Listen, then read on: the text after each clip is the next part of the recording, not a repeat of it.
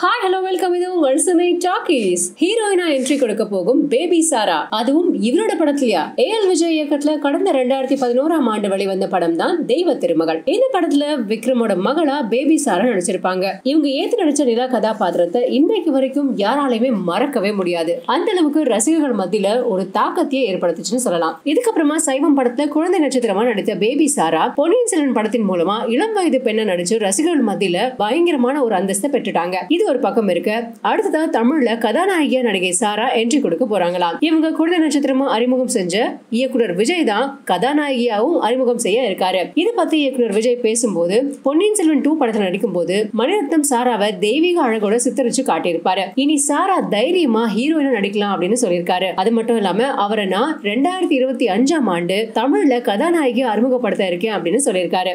இது ஒரு பக்கம் இருந்தாலும் காவாலா பாட்டுக்கு அப்படி ஒரு ஆட்டம் போட்டிருக்காங்க பாகியாவும் அவனோட மகள் இனியாவும். அந்த வீடியோ இப்போ படு வைரலா போயிட்டு இருக்கு இணையத்துல தொடர்ந்து பல வாரங்களா ட்ரெண்ட்ல இருக்கிற விஷயம் அப்படின்னு பாத்தீங்கன்னா அது காவாலா பாட்டு தான். ஜெயலர் படத்துல இடம்பெற்றிருக்கிற இந்த பாட்டுக்கு ராக் ஸ்டார் அனிருத் இசையமைச்சிருக்காரு. இந்த பாடல் நடிகை தமன்னா நடனம் ஆடி இருப்பாங்க. வெளிவந்த லிரிக்கல் வீடியோ பாடல்ல தமன்னா ஆடி இருந்த நடனத்தை ரிலீஸ் செஞ்சு ரசிகர்கள் பலரும் வீடியோ ஒன்று வெளியிட்டு இருக்காங்க சில திரையுலக நட்சத்திரங்களும் கூட காவாலா பாட்டுக்கு ரீல் செஞ்சு வெளியிட்டு இருக்காங்க அந்த வரிசையில பாகியலட்சுமி சீரியலோட கதை நாயகியா நடிச்சிட்டு வர பாக்யாவும் அதே சீரியல்ல தன்னோட மகள் நடிச்சிட்டு வர இனியாவும் இணைஞ்சு காவாலா பாட்டுக்கு டான்ஸ் பண்ணி வீடியோ வெளியிட்டு இருக்காங்க இந்த வீடியோவை இனியாவா நடிக்கிற நேஹா தன்னோட இன்ஸ்டாகிராம் பக்கத்துல போஸ்ட் பண்ணிருக்காங்க இந்த வீடியோ இப்போ செம்ம வைரலா போயிட்டு இருக்கு இந்த வீடியோ உங்களுக்கு பிடிச்சிருந்தா லைக் பண்ணுங்க ஷேர் பண்ணுங்க சப்ஸ்கிரைப் பண்ணுங்க. மறக்காம உங்க ஃப்ரெண்ட்ஸ் அண்ட் ஃபேமிலிக்கு கண்டிப்பா ஷேர் பண்ணுங்க.